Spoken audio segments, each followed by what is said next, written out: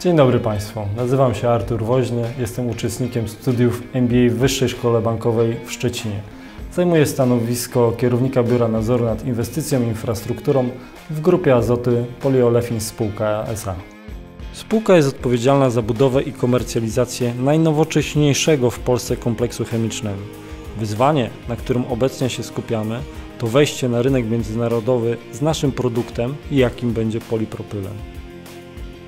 Podstawy przedsiębiorczości kształtowałem od zawsze. Już na pierwszym roku studiów rozpocząłem pracę w jednej z kluczowych firm konsultingowych. Obecnie, jako kierownik Biura Nadzoru nad Inwestycją i Infrastrukturą, zarządzam biurem, którego odpowiedzialność rozpoczyna się na budowaniu implementacji strategii grupy Azoty w segmencie poliolewin poprzez budowę portfela i programu projektów, w tym monitorowanie ich KPI.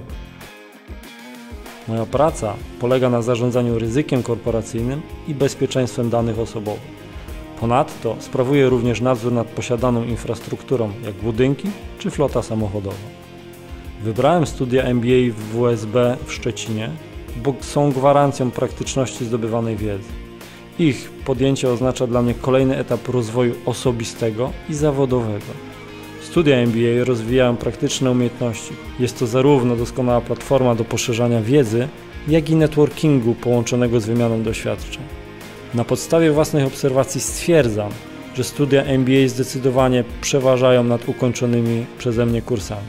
Cenię sobie także świeże spojrzenie wybitnych ekspertów z różnych segmentów gospodarki na nowoczesny biznes.